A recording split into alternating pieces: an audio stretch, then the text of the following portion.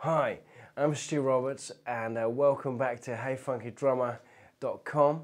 Uh, today I'm just going to show you a couple of really uh, basic things to do with reggae drumming and uh, I'd like to encourage you to think of this as merely a kind of starter pack to get you a bit more informed about what's going on uh, within reggae drumming and uh, just to encourage you to make sure that you don't just collect the beats but you also get out there, listen to some records, learn some tunes and absorb the whole music.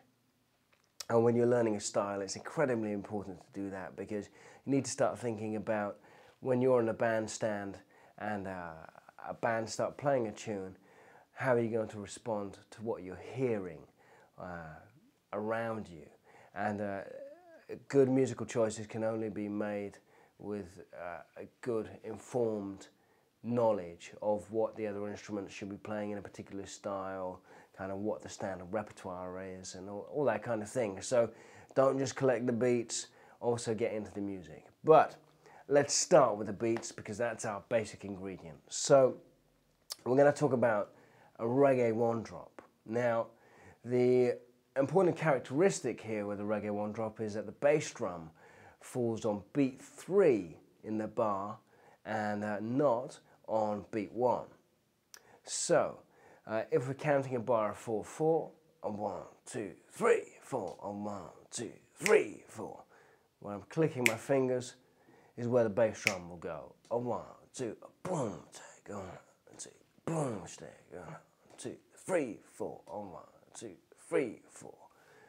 Okay, now the hi-hats uh, sometimes they can be played straight, sometimes they can be played with a kind of shuffle, swung feeling. Sometimes they'll be played somewhere in between the two, and you will hear the hi-hats being played in quite an improvised manner on a lot of recordings. You know, lots of different variations, and I'll, I'll demonstrate some of that for you at the end of the lesson. But the important thing here is I just want you to get the basic one drop pattern down and what that involves is just playing the hi-hat on the off beats uh, at this tempo, beats two and four. So we've got the hi-hat on two and four and the bass drum on beat three. So one, chick, boom, chick, one, chick, boom, chick, one, chick, boom, chick, one, chick, boom, chick. Okay, so if I play that beat for you, it'll sound like this. One, two, one, two, three, four.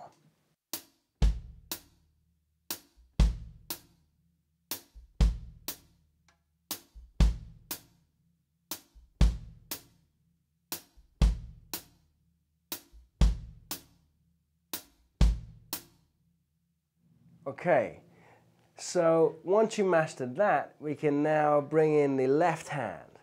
And the most obvious thing to do is to play the left hand at the same time as the bass drum, but using a cross stick. Now, if you're not sure what a cross stick is, all it is is we're going to lay the stick over the snare drum and just going to cradle it between our thumb here and our first finger. And the stick looks like this. These three fingers are, are flat on the drum. I'm just going to lift my hand up so it clicks off the rim of the snare drum. So we'll have this sound.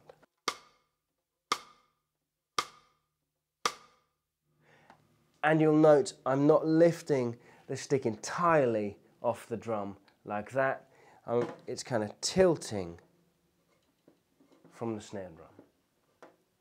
So let's put that cross stick sound with the bass drum on beat three in our reggae one drop pattern. So a one.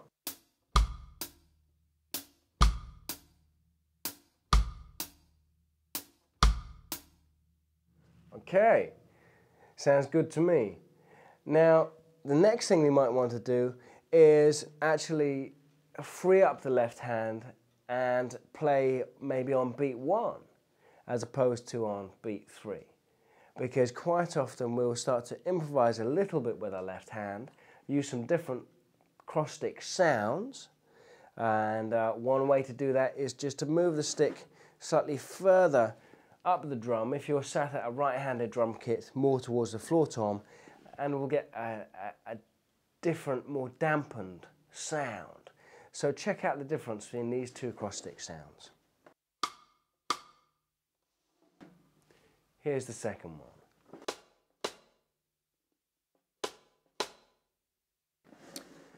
So I hope you can hear a difference in sound. So let's play, let's play the first one in the original position and beat three in our new position with the cross stick. So we'll have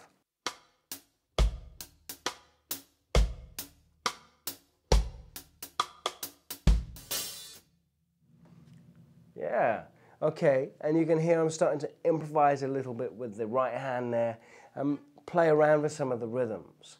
So we've got that kind of skippy feeling, slightly shuffled feeling in the right hand.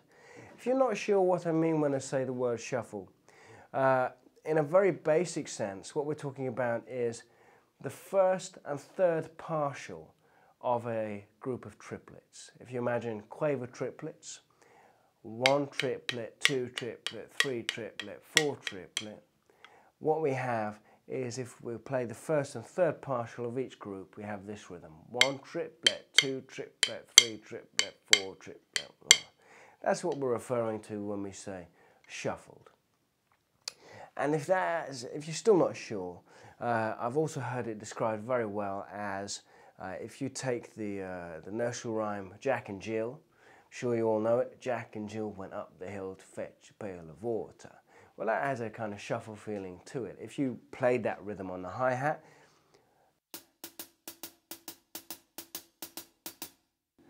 that would be pretty similar to a shuffle feel. It's a bit too straight and regimented to use in a reggae beat, but hopefully it helps you kind of get your head around what we mean when we talk about a shuffled beat.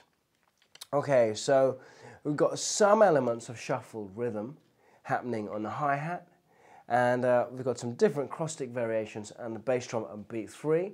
So I'm going to mix all those elements up and uh, that will be the end of our lesson on a reggae one drop. So I hope you enjoy this, hope it gives you some ideas and I hope it encourages you to uh, spend some time not only learning new beats but also never forget to go out and check out some tunes, things like No Woman No Cry by Bob Marley, uh, you know, and just develop a repertoire of knowledge of songs in a variety of styles because all styles tend to cross over and the more aware you are of music generally, the more secure uh, and the more valuable your musical contributions on the bandstand will be.